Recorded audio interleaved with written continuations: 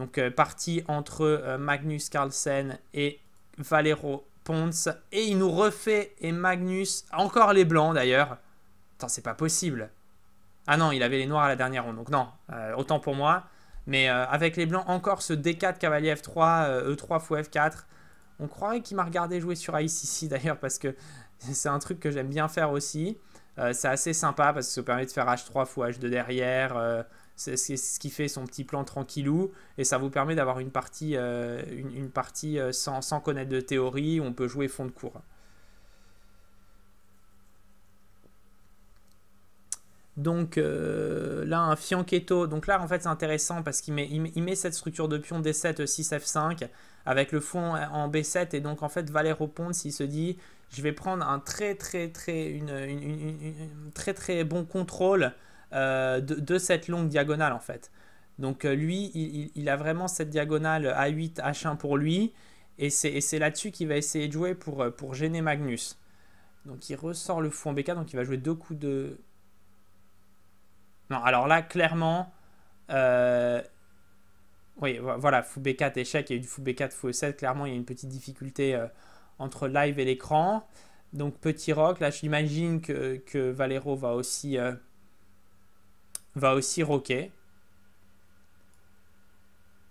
Et il va falloir trouver un plan. Ah non, donc il commence par cavalier H5, donc il veut pas laisser à Magnus. Alors là, il s'est passé tout un tas de choses. Il veut pas laisser à Magnus, je, reviens juste une petite seconde, il veut pas laisser à Magnus faire H3 fou H2. Il a fait cavalier H5 direct pour lui prendre son fou et on se retrouve dans une position complètement différente de ce qu'on a pu voir auparavant. Euh, avec, un, problème pour les noirs. Donc là, Magnus joue très énergétiquement. Pourquoi est-ce qu'il change un peu son style dans cette partie précise Donc où, il rentre dedans très rapidement? C'est parce que Valero lui a pris la paire de fou. Mais en attendant, il a des gros, gros, gros soucis de développement. Et Magnus lui met une très, très, très grosse pression maintenant. Et, euh, en fait, c'est juste très, très dur de comprendre comment Valero va se sortir des tentacules de Magnus. Mais c'est incroyable quand même. C'est vraiment un joueur universel, un joueur tout-terrain. Un coup, je te rentre dedans stratégiquement. Un autre coup, je te rentre dedans direct parce que tu me gênes.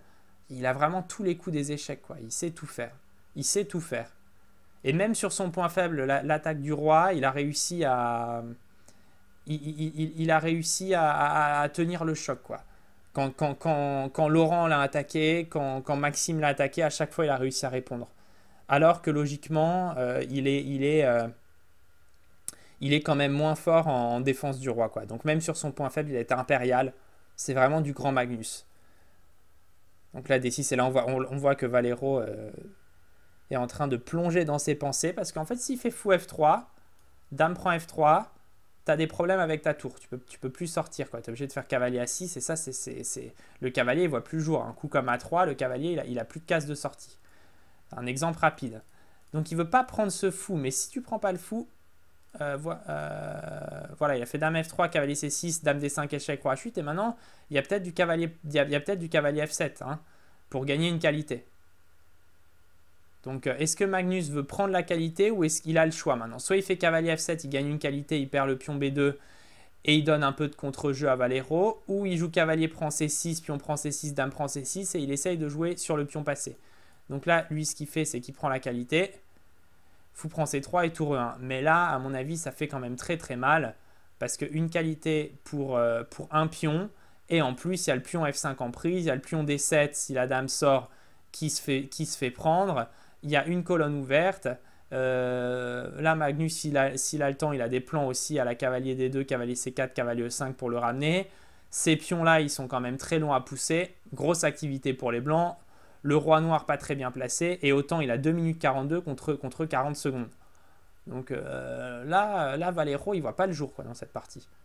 Là, pour le moment, euh, le mec, euh, il a 2643 en blitz, il est plus de 2700 parties longues, c'est un vieux de la vieille, et dans cette partie, il voit pas le jour. Alors que Magnus a rien fait de spécial dans l'ouverture, il a juste développé ses pièces.